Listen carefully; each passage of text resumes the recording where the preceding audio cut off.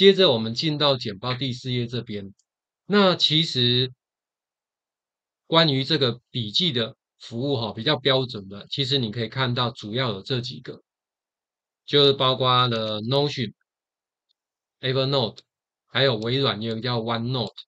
那其实我以前也有用过这个 Evernote 一段时间，不过一直觉得说它好像就是只有单纯寄东西然后好像还是跟我需要的有一些不同，所以我有用一段时间，但是就觉得要上手比较难。好，但是呃，今年可能也有些同学有注意到，今年有一个他的讯息。他以前也是当红榨汁机，可是今年呢，他应该说前两年他团队就被并购了，然后今年另外一个讯息出来，就是原始的开发团队全部被解散了，所以它的前途不明哈。所以现在呢，也有很多使用 Notion 的人，呃，不，使用 Evernote 的人就怎么样？转移到 Notion 或是其他的这个笔记软体，事实上还有比较跟 Notion 类似的这种比较呃笔记的软体，只是说呃它的学习相对在台湾看到会比较少一点。那微软呢也有推一个叫 OneNote，这两个算是比较同一个时期的，啊，两个的概念不一样，但是微软这个其实也蛮久的了。那我们可以看一下哈，比较一下它的特点，就是 Notion 本身它最大好处就是因为它功能很多，而且呢它很适合就是刻字化，这是它厉害的地方。因此呢，不同的人你用的 Notion，每个人都有不同的风景，不会像 Google Keep 那样的啊看起来都一样哈。那 Evernote 呢这一块它就。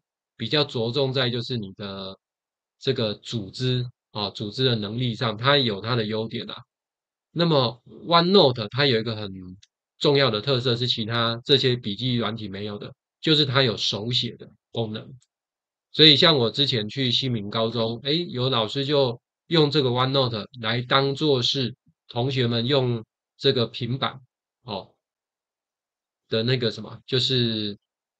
笔记的工具，因为他们都买那个绘图笔，所以呢，他就可以透过这个方式让同学呢去做笔记，然后这个笔记可以变成是大家上课的一个共备的笔记，哎，蛮蛮好蛮好玩的，所以这个算是它的特色。所以如果你比较习惯用手写的话，是现在的这种工具相对比较少，好，所以 OneNote 算是一个选择。那再来就是。协作的能力哈，基本上这些大部分都有了。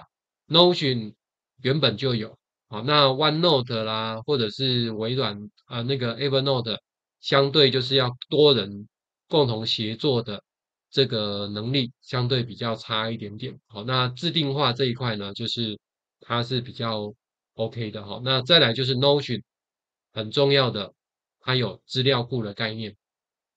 如果曾经有同学以前有学过，包括 Access 或者像 SQL Server，还是那个我们的那个叫什么 MySQL 哦之类的，哎，以往我们要比较辛苦去学那些强大的资料库，哦，它可能比 Excel 提供的功能更多。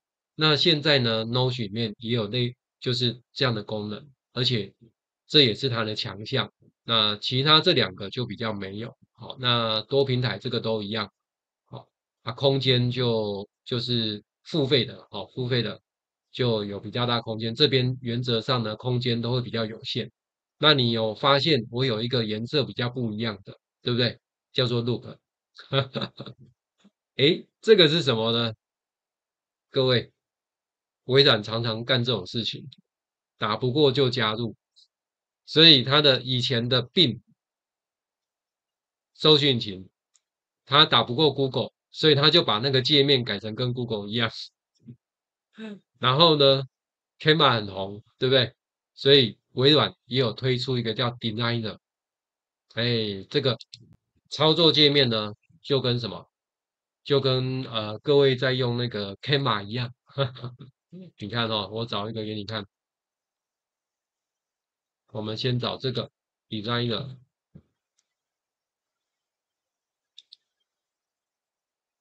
它有它的优点的哈。最近我部落格上介绍，它在 AI 自动排版这一块，哎，比 Canva 还厉害一点。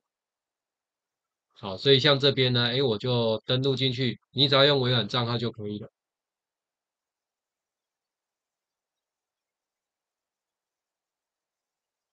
好，你看像这样，那你看我们要左手边这里，我要制作一个 AI 的简报。好，那你就直接叫它帮你生成，这是它的强项哈。好，那它产生之后呢？哎，有了，有没有？那我给你一些，那它有些时候也会像这样，就会把你的这个提示词转换成比较标准的提示词的英文，那我就产生一下，你就可以用它的，也可以。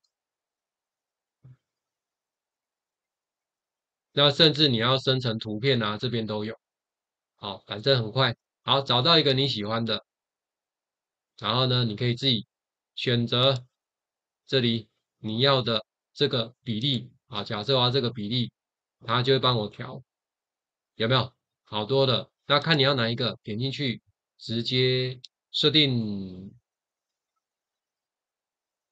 所以以后做简报用这样方便很多。那今天呢，如果你来这里改版了，你看进来了，你看右手边它还有很多，有没有？它会自动帮你生成很多，那你只要。有改变了它的位置啦，或插入的图片，它右手边又会重新帮你做排版，又会重新再产生很多新的那个版面，再给你看。哦，这个是微软，打不过就加入了。那 Loop 呢？最令人担心的是这样子，在这里两个长得一模一样啊，跟谁长得一模一样？跟 Notion。哦，所以如果你曾经有用过。这个来，你看一下哈。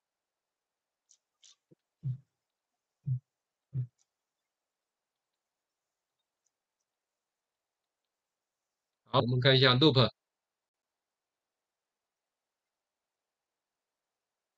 嗯，点进去，进来。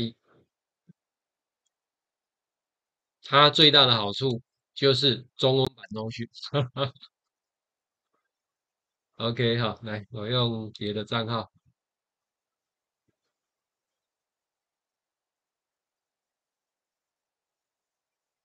好，点进来，有没有？这边，但是在这里呢，它的界面其实跟 Notion 一模一样啊。好，跟 Notion 一模一样。然后呢，点了，点了这里，哎，我看一下旁边。好，这里插入。哎，就是长这样这样，这个就是我们标准的 Notion 界面。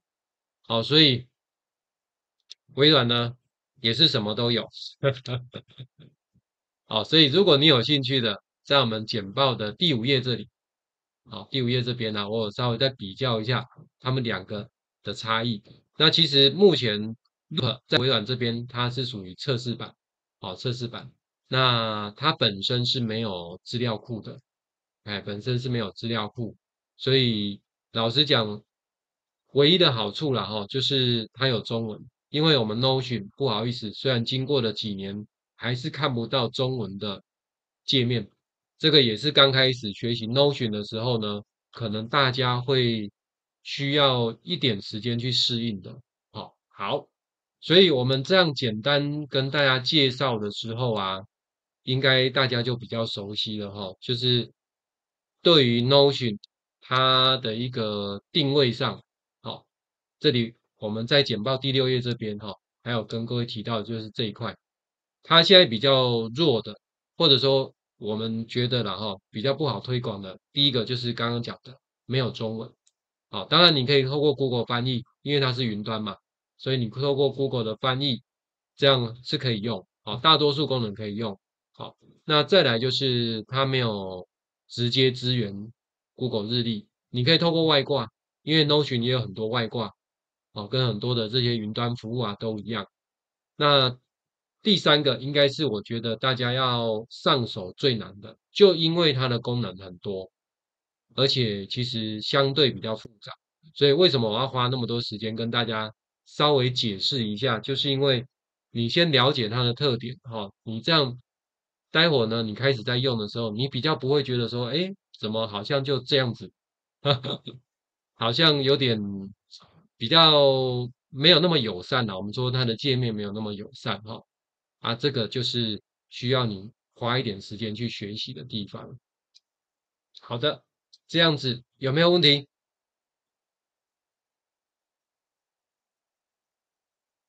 没有，对不对？好，那我们呢？等一下先带大家哈，就是呃，就是先把你的账号先注册起来，好吧？那待会我们再来下课休息。